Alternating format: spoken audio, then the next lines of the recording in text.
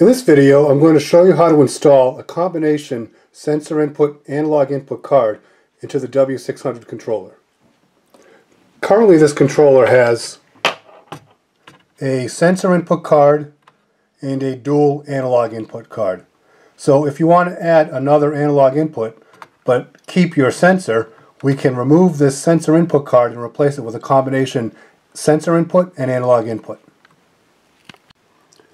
The difference between the two cards, besides the combination card having an analog input, is the wiring.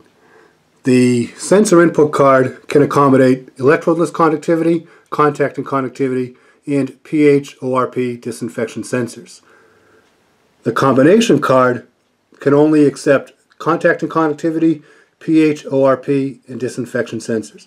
It cannot accommodate the electrodeless uh, conductivity sensor. And the wiring is different for the sensors on the combo card than it is for the sensor input card. You want to make sure the pins on the controller match up with the receptacle on the board. And then you just line it up and then press it into place and then screw it back on. After you've secured the board in place, you can wire up the controller again. Now make sure you follow the wiring instructions on the card or in the instructions under combination card. So now your inputs look like this.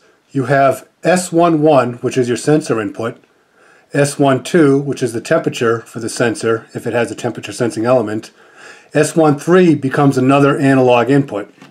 S21 is an analog input, and S22 is another analog input.